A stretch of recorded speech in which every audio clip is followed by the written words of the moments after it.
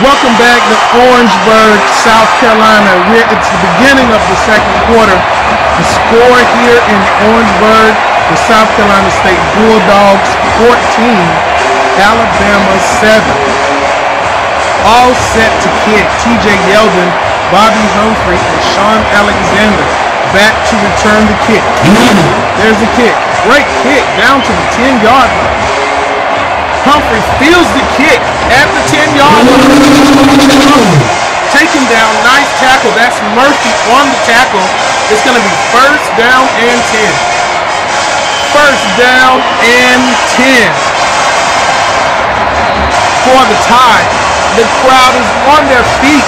The student section is going crazy, and the Tide seem to be motion going to the left. They seem to be kind of out of sync.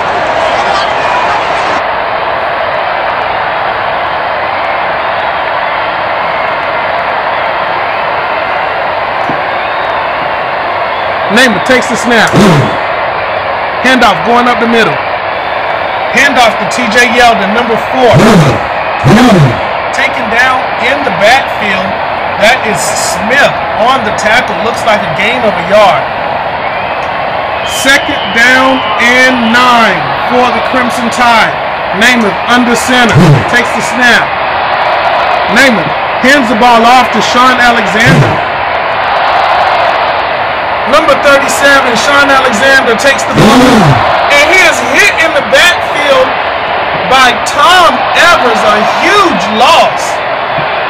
Third down in 15 for the Tide. Huge play by the Bulldogs. Tom Evers with a big tackle. And it is deafening down on the field. Loud. Namath dropping back, dropping back, looking for a receiver. Joe Namath dropping back, looking for a receiver. Pass protection. He's got a receiver open. Can he complete the pass? Joe Namath scrambling around, looking for a receiver to get open, and Namath has to get this ball away. Heavy pressure coming from the Bulldogs. Namath has got Humphrey out the backfield. Looks like he's going to just dump it off. Pressure coming from the Bulldogs. Graham and Farmer in tow.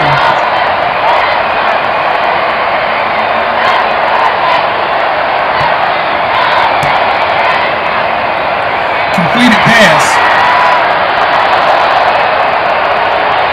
Humphrey catches the ball. Humphrey. Nice tackle. Dennis Table takes him down at the 40-yard line. Fourth down and two. The Bulldogs defense screaming for the home crowd to get to their feet on the big play. Hmm. Namath takes the snap. The Tide only need two yards. Namath dropping hmm. back, looking for a receiver. Huge play for the Crimson Tide. Can they complete the pass? Joe Namath throwing the ball into traffic. If Yeldon can make this catch, it will be a first down. Completed. Great catch. And Yeldon brings it down. Great catch. Taken down by Fox at the 45-yard line. First down and 10. Crimson Tide. First down and 10. Huge play. That's got to be a huge energy boost for the Tide. The crowd was on their feet and you can hear this stadium vibrating around the stadium. It was loud. Takes the snap. Looks like he's going for another pass. Namath hmm. dropping back. Handoff. Namath having a horrible day. Slips down during handoff. Humphrey the ball. Pressure coming from mm. the Bulldogs. Humphrey Great speed, great cutback by Humphrey mm. in the clear. Mm.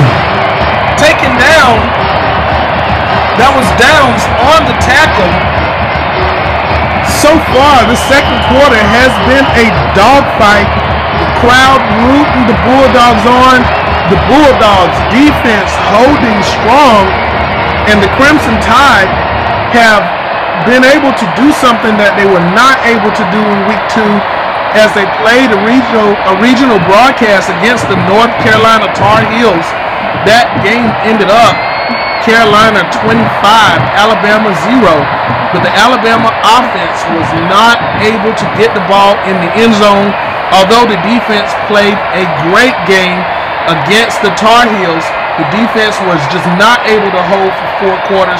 The offense was three and out, three and out, throwing interceptions, fumbling the ball, just made it very difficult. Put a lot of pressure on the defense here today. The Tide controlling the box, controlling the line of scrimmage, and trying to trying to take this game back. Looks like a new quarterback in. David Cornwell is in the game. Namath has been taken out. Cornwell looking to pass, approaching the line. Cornwell scrambling looking for a receiver. And he has got Julio Jones wide open. Cornwell comes into the game for the first time. The second string quarterback got Julio Jones wide open. This could be a huge play. Incomplete pass, overthrows. Second down and 10. The Tide controlling the second quarter, playing ball control, and the stingy Bulldog defense giving up no ground.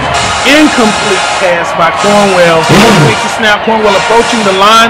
The Bulldogs bringing the pressure. That is Tom Evers. Cornwell scrambling around, looking for a receiver. Heavy pressure coming from the Bulldogs. Fox and Farmer in Cornwell's face again. Cornwell looking to complete the pass. He's got Bobby Humphrey wide open.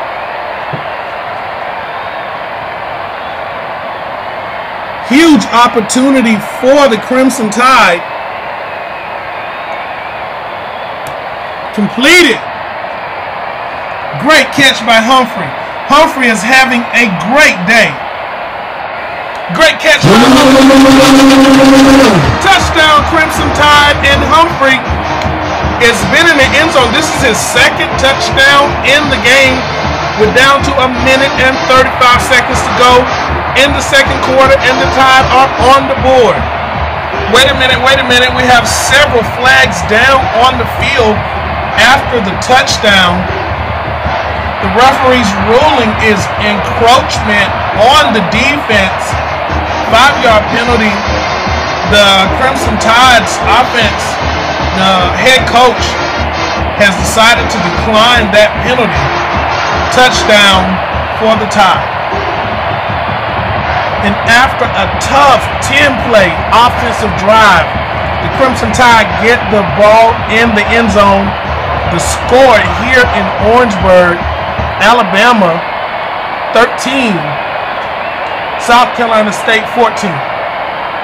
Set to kick the extra point. the kick is good.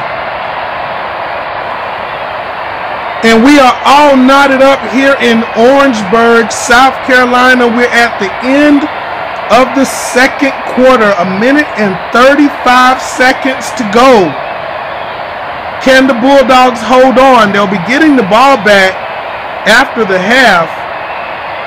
All set back to receive Sam Leak and Joel Brown. Deep back to receive. There is the kick. Great kick. Clyde Bostic fields the ball at the 27-yard line, who has already returned a kickoff back last week against the Howard Bison. Bostic taken down at the 40-yard line. Great return by the Bulldogs. First down and 10. A minute 35 seconds to go in the second quarter. Approaching the half. Can the Tide hold? Crowd is on their feet. Henry dropping back. Pressure coming from the Tide. Sweet play goes to Joel Brown. Looks like he's stacked up in the backfield. Joel Brown up in the backfield. Big play. And we caught Coach Roseman as the Alabama Crimson Tide are going into the field house. We are here at halftime. We had an opportunity to talk with the coach, and the coach said that in this game, his intention was to just try and keep the Bulldog defense on the field and wear them down with a slow and steady offense. And it looks like it worked. The Tide have managed to get back into this game the coach said that he's going to just continue to open his playbook and continue smash mouth football the Alabama way and just try and bog the Bulldogs down and pull out this win. Right now, coach sitting nice, feeling good about his strategy. And we caught Coach Bernie Jones going into the field house. We are here at halftime. Coach, the Alabama Crimson Tide coming off of two tough losses not even scoring against the Tar Heels. What is it that you're going to do, coach, here in the second half? The Tide seem to be trying to slow things down and play very conservative to control the defense. What's your what are your what are your thoughts? Well, you know, they were near, really never out of the game. Uh, we went into the second quarter and we were on they were only down seven points. You got to understand, and we do understand here this coaching staff that they like playing a controlled kind of game. Second quarter, they started to get into their game. Our defense really played well. They did earn uh, the score that they got. But we're looking to come out into the second half and play our game. Uh, we're going to spread them out and try to uh, take advantage of every opportunity that we have and get back on the scoreboard and make them uh, push the ball down our throats again. You know, sometimes that works out for you pretty good. It make let them play their game. That clock is working on my side. I got the lead, and they're trying to play their game. So we're gonna see what's gonna happen in this second uh, second half. We come out getting the ball. We're gonna do our thing and try to get points on the board. Try to control the tempo of the game. We'll see you guys, see what happens in the second half. Well, that's it for me down here on the field. The score here in Orangeburg for you guys up in the booth. Alabama 14, South Carolina State 14. We're all tied up here in Orangeburg. Gonna take it back up to you guys. Alabama is coming into this game with an 0 2 record right now. Coach Roseman is trying to get control, trying to get things back in gear. And right now, um, Coach says that they, they like to play a very conservative run control game. And last week, when the Tide was in Legion Park down in Fayetteville playing against North Carolina Tar Heels, they were unable to move the ball offensively. They had a few missed opportunities that led to some key breakdowns in the way of turnovers, and that really hurt the Tide. The Tide was never out of that game, though.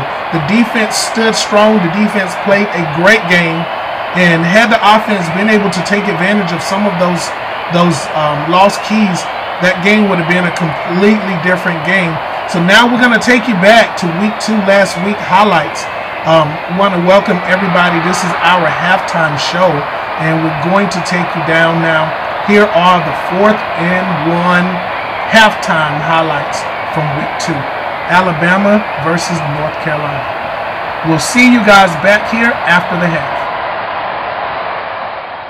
Welcome to the Fat 8 halftime spotlight. It is week two, Alabama versus the Tar Heels. And as you can see here in the opening drive, Alabama fumbles the ball, the Tar Heels recover and run it in for a touchdown. On the ensuing drive, however, the defense holds. Alabama is able to get an interception, but the offense stalls and are unable to score. The Tar Heels get the ball back, and as you can see here, Johnson is able to connect with Nelson for a long 75 yard touchdown. On the following drive, the Tar Heels intercept the ball and are able to score again. But the Tide were able to make some big plays. Several wide receivers open. Julio Jones open. Bobby Humphrey here open for another big play. TJ Yeldon open across the middle for a third big play. The Tide offense moves the ball, but once again they get inside the red zone and is unable to score.